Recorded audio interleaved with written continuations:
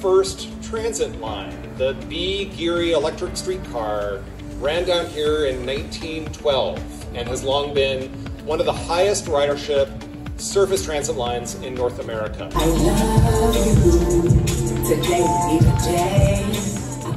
This project is designed in its small way to help with the healing and to help restore the connectivity between Japantown and the Fillmore.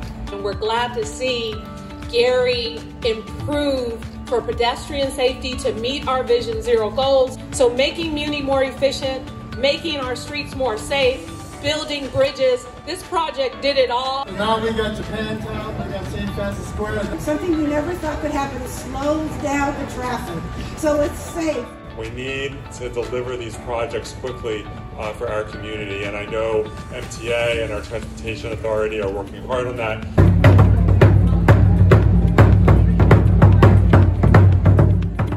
Corridor does pass through five different districts from the bay to the beach, uh, reflecting all the different diversity of our city. And that's what you see on the bus. It's really true, the apt saying that where transit goes, community grows.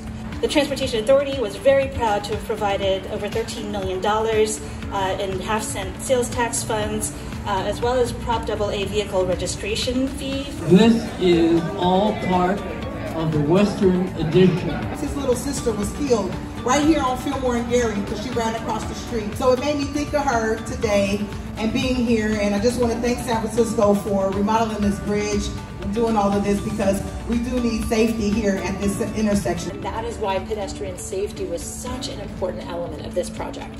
So just a couple numbers. 34 new pedestrian bulb outs, seven new or upgraded crosswalks, nine intersections with median improvements, as well as new pedestrian countdown signals, longer crosswalk timing, the number of total travel lanes from four to two general purpose lanes in each direction, and of course one bus lane in each direction. For the first time in five decades, allow community members to walk across the street between Japantown and the Fillmore and um, San Francisco. Also wanted to share a story today about one Geary Corridor resident whose life has already been improved by this project. Lou Grosso is with us here today. Maybe Lou, you can stand up or wave. Thank you so much for being here. Lou is blind and lives just across the street from where we are gathered now in St. Francis Square.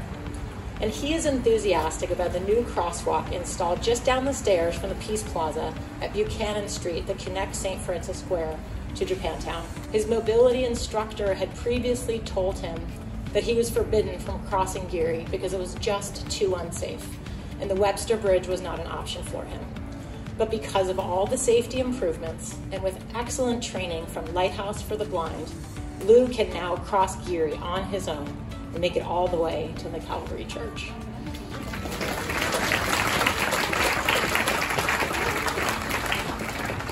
Thank you so much, Lou, for your service on the committee, and thank you for letting us share your story. So thank you all so much for being here. Congratulations on this wonderful project.